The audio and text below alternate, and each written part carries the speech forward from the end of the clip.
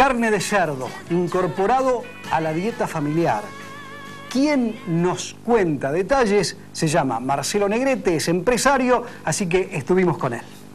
Primeramente para la gente, nosotros tenemos una gran variedad de cerdos, de cortes de cerdos,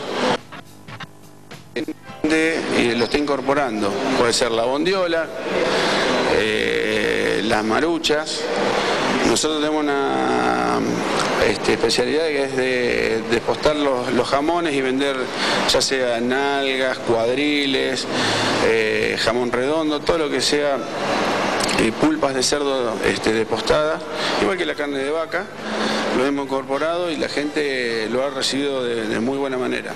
Y después que yo le digo que es la gran vedette de, todo es la, pata de cerdo, que se hacen las patas flambeadas, están muy de moda y es una es, un producto que está saliendo este, o uno de los productos que más sale rinde porque una pata te rinde para sándwich o al plato, una pata de 10 kilos, 25 o 30 personas comen tranquilamente y, una carne muy sabrosa este, y de mucho rendimiento. O sea que con eh, pocos pesos este, comes una una cena, un almuerzo de, muy buena calidad. Eh, nosotros decimos que siempre hay que hacer una docencia con la carne de cerdo porque la gente desconocía las virtudes, este, eh, un montón de, cosas que se van apareciendo y que la gente a medida que va pasando los años eh, va incorporando.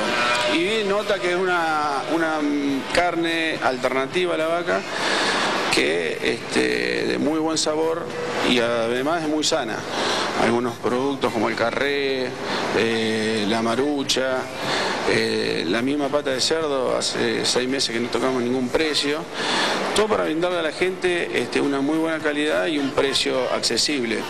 Este, porque, te vuelvo a insistir, eh, parte de la docencia, de que la gente incorpore la carne de cerdo a la cadena alimenticia, es eso, la calidad y el precio, sobre todo. Eh, gracias a la tecnología, a los criaderos nuevos, se ha logrado una carne muy magra y con muchísimas virtudes, muy sana, muy sana y económica en estos momentos. En los tres locales eh, funciona muy bien y creería yo que es muy, muy en general, no, no, es familia. Eh, grupos de amigos que se organizan para un asado, vienen, se llevan una pata, este, entonces se va, se va incorporando este, un culto de la carne de cerdo, ¿no es cierto? Nosotros este, el abastecimiento lo tenemos garantizado, eh, mercadería va a encontrar de la que quiera y creo que estamos lo suficientemente preparados para recibir estas fiestas.